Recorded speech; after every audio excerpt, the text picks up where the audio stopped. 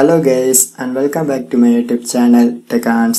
So today I will show you how to delete personal phone number from your Facebook account and this trick almost works for all Android mobile devices including iOS iPhone also. So let's get started. So first of all open your Facebook mobile application in your Android mobile or iOS device and then complete your login and sign up processes. So now my newsfeed is ready to use.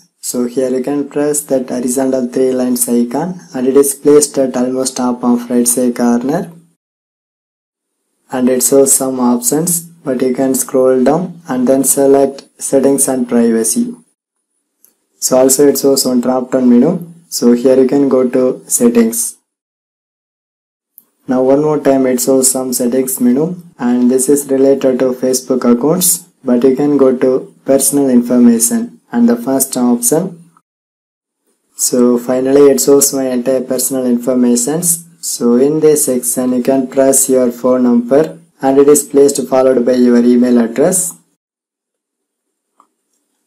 So now in top it shows my current mobile number and in followed by I get the phone number delete option and it is mentioned as remove. So just select it.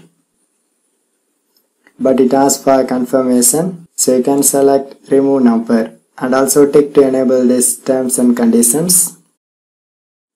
But it asks for my Facebook account password and this is for verification purpose. So I try to type my password and then press remove phone.